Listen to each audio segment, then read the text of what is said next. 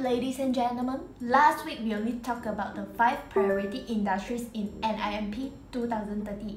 This week I get to visit a PLC in Busan, Malaysia that is riding on the wave. QES Group Berhad.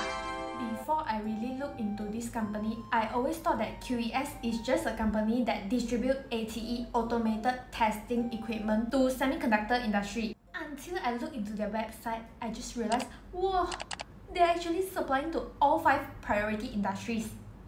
Interesting. Hey guys, it's HY, your investing friend. QES Group is one of the leading provider of ATE in Malaysia.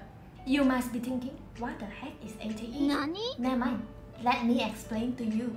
ATE stands for Automated Testing Equipment. Last time, when the equipments are not so junky, we need to use like microscope to inspect any defects in the components. We need to manually adjust the focus lah, the stage lah, the position lah to capture the defects. Then when we slowly evolve to use semi-automated microscope, we still need to use our eyes to detect the defects even though the microscope is automated to adjust the focus or the position for you. A fully automated testing equipment ATE bring this process to a whole new level. Nowadays, uh, chips are getting smaller and smaller. But you Nowadays, the chips are thinner than your hair already. Zoom in now, your eyes also cannot see. Uh. That's why all these companies need to buy AOI from QES to inspect the defects in the components. And the computer will automatically detect the defects, don't need to look at your eyes pajal anymore. Same goes to other market segments like agriculture, land mining, other sectors. Different market segments require different machines to do quality control to make sure the end product meets industry standards. Besides AOI, they also sell AHS and SMS which are automated handling system and smart manufacturing system that will help manufacturing companies to become smart and improve their efficiency. There are two business segments in QES Group Berhad. Number one is distribution segment and number two is manufacturing segment. On distribution side, they're like a middleman. They sell many brands to their customers. Uh, for example, the famous ones are Nikon la, Hitachi la. These segments generates about 87% of their total revenue. They will import the machine and add value by customizing the machine according to their customers' needs. And most of the components that they check are going into the E&E automotive uh, pharmaceutical industry. On manufacturing side, they specialize in making high precision motion control equipment for OSAT companies like Inari la and PI la. In simple words, it's like a robot that can move tiny things around accurately and it is used to assemble tiny parts. Besides, they also provide after-sale service to their customers like maintenance or replacement of products.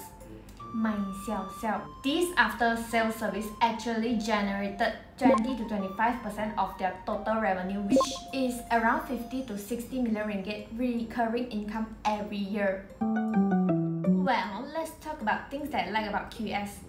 QES is financially strong with a consistent net cash position. Currently, QES has a net cash of 78 million ringgit. That is like 16% of their market cap. So it is quite healthy, I would say. They want to expand or to be defensive a bit during this semiconductor down cycle. Also, Hakuna Matata.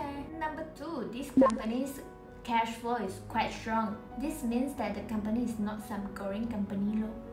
Number 3. Their customer base is quite diversified and there's no over concentration in one single customer like most of the semiconductor companies in Malaysia. If the company don't want to order from them anymore then they GG. QES don't have this risk. Number 4. QES is riding the wave of NIMP 2030 our government has declared their support into five key industries. Dun, dun, dun, dun, dun. The runway will be very long, so QES can benefit from this growth. Huh, let's talk about things I don't like about QES. Number one, low profit margin. As I said just now, QES is just a distributor or middleman. On top of that, they help you to do value add or other customization service. So this kind of business uh, profit margin won't be very high one.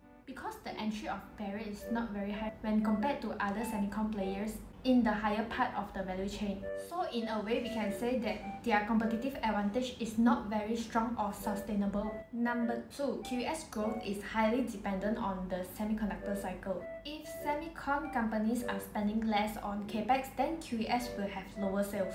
This can be seen in the testing equipment sold by QES that is going into the memory segment. The sales dropped a lot, but the automotive segment increased a lot so it neutralized the impact. The same can be seen in 2018 semiconductor down cycle.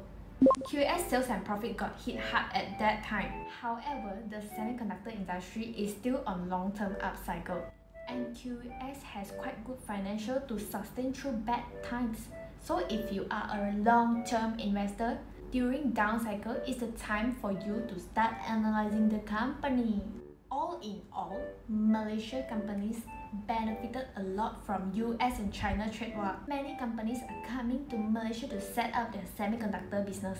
So QES will still be fine for the immediate future because of the increase in capex for semiconductor industry in Malaysia. Anyway, that's all for today's video. Stay safe and stay strong investing. I will see you in the next video. This video is sponsored by Xifu Investing, a social media platform for investment. The app is quite good if you are looking for investing ideas or if you are looking for an investment community to discuss about stock ideas. I also like to use their news function so I can check the news about the specific company all in one place. Analyst reports from all brokers are also uploaded in the app and you can read for free. Easy peasy.